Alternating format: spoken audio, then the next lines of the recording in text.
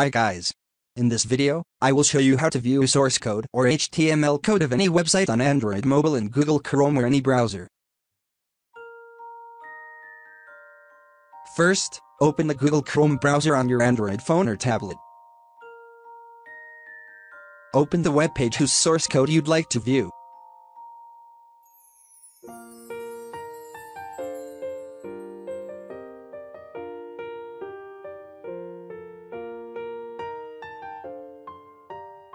Tap once in the address bar and move the cursor to the front of the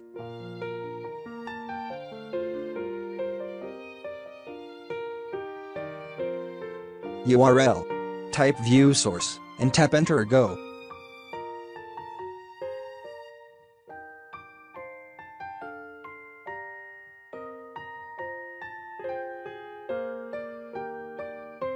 Thanks watching this video.